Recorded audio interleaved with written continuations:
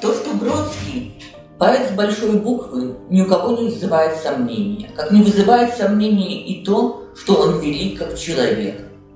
И каждый находит какие-то факты в его биографии, которые западают в душу лично ему. Меня, как библиотекаря, всегда интересовало, как же относились выдающиеся люди к библиотекам и книгам в целом. Иосиф Бродский в автобиографическом эссе писал, что в библиотеку он обратился впервые в 16 лет по совету матери, когда он ушел из школы и стал работать на заводе.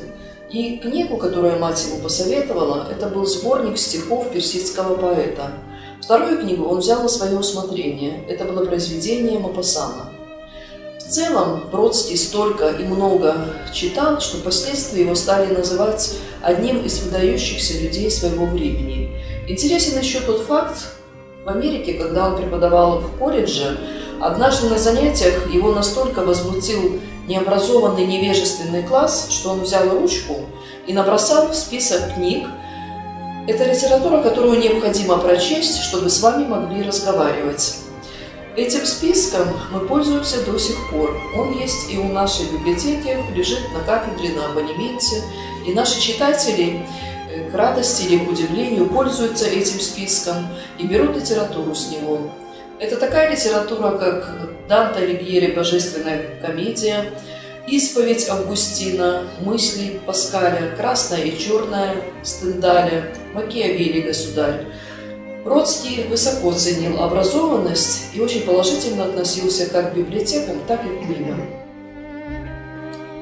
Меня всегда интересовало место, в котором родились, жили и похоронены выдающиеся люди. Так Иосиф Бродский родился в 1940 году в Ленинграде, городе рек и каналов. Он любил этот город, однако вынужден был уехать из него в эмиграцию.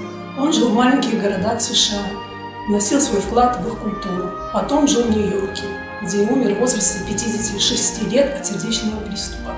Похоронен он в Венеции. Венецию Бродский выбрал сам, так как этот город напоминал ему Ленинград.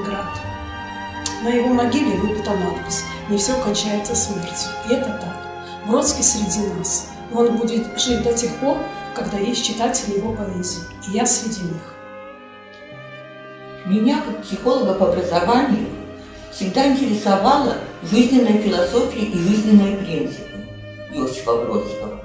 Он изложил их в речи выпускникам Мичиганского университета в 1988 году. И это такие принципы. Первое. Всячески избегайте приписывать себе статус жертвы. Второе. Умейте прощать. Третье. Сосредоточьтесь на точности своего языка, на точности выражения своей мысли. Четвертое. Старайтесь быть добрыми к родителям. Пятое. Старайтесь не слишком полагаться на, на политиков. Шестое. Старайтесь быть скромными.